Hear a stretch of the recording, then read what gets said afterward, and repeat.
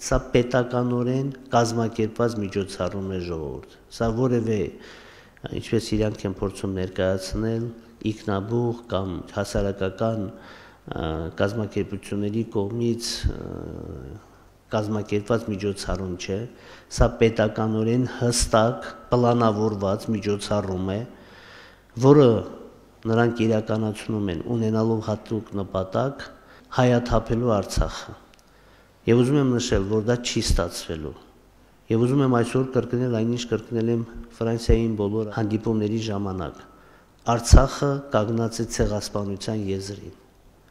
Քանի որ հնարավոր չէ Ադրբեջան իրականացրի այն ծրագիր, այն օրակարգը, որ այսօր ունի, որպեսզի արցախցիները հրաժարվեն ինքնորոշման մեր միջազգային իրավունքից, հնարավոր չէ ճնշման արդյունքում հայաթափել Արցախը, ապա մնում է երրորդ տարբերակը՝ իրականացնել ցեղասպանություն։ Մենք պետք է բարձրաձայնենք,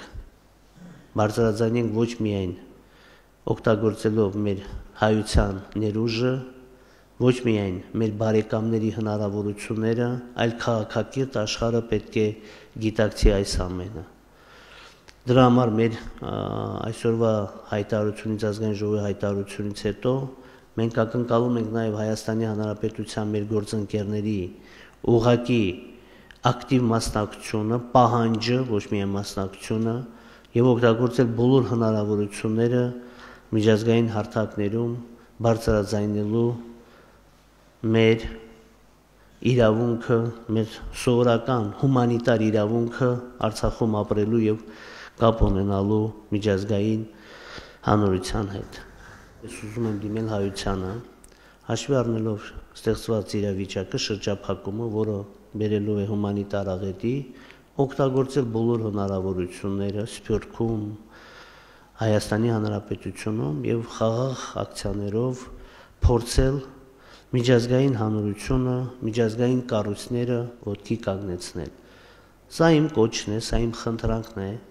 քանի որ այսօր քան երբևէ մենք դրա կարիք ունենք։ Հայաստանում ես ակնկալում եմ, որ մեր հայնակիցները այսօր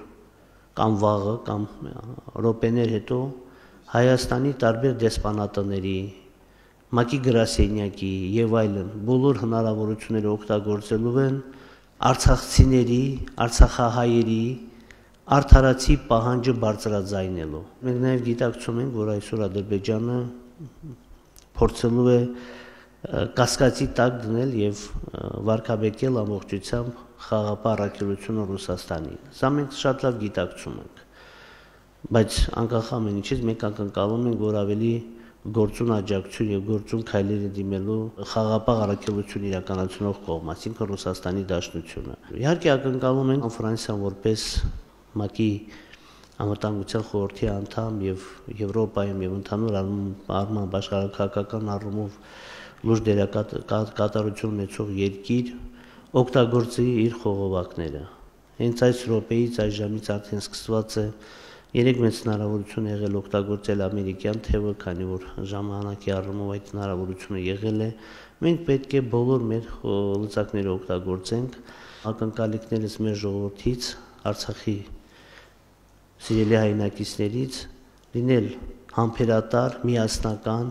չենթարկվել խոճապի, պրովոկացիաների, այլ լինել կազմակերպած եւ միասնական պայքարով իհարկե ես չեմ ասում այս փուլում ունենալու ենք լուրջ ձերբերումներ, բայց հաստատ հաղթահարելու ենք նաեւ այս ցաներ փուլը